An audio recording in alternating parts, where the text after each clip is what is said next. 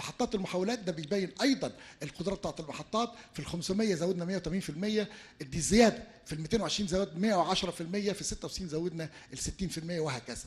آه يمكن في افتتاحات النهارده نتكلم عن المحطة بتاع كهرباء إسنا جهد 220 كيلو فولت على 66 آه، دي المحطة. يعني همشي فيها بسرعة باعتبار إن إحنا آه، آه، هنقولها في الافتتاحات إن شاء الله. أيضا في توسيع محطة محاولات بنبان. إحنا لما جينا نشغل بنبان اشتغلنا الأول على محطة 220 كيلو فولت وبعدين رفعنا هذا الرقم إلى محطة الخ- إلى مستوى ال 500 كل ما بنرفع كمان الجهود كل ما بتخلي الشبكة more stable يعني أقوى. وفي نفس الوقت تمكننا. يعني إحنا النهارده عندنا بنية أساسية في محطة بنبان.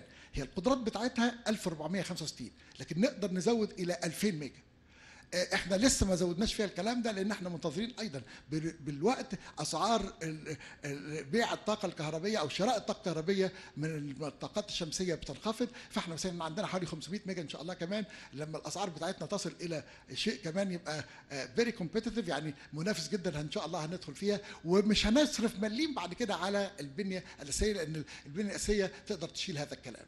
دي برضه افتتاحات اليوم إن شاء الله. آه، دي محطة آه، بنبان. محطة محولات التكلفة الاستثمارية فيها عبارة عن 440 مليون جنيه. أنا أحب برضو أنوه على حاجة مهمة جدا أنه هذا الكلام تم أيضا بالمشاركة آه، المستثمرين في المحطة. في حاجة اسمها cost sharing agreement يعني المحطة كان في تمويل من كل ال ال المستثمرين ال- المصريين والأجانب اللي موجودين في المحطة يعني ساهموا في إنشاء هذه المحطة. آه، برضو حاجة مهمة جدا إن إحنا عملناها ما كانتش موجودة قبل كده إن إحنا جبنا محطات محولات متنقلة.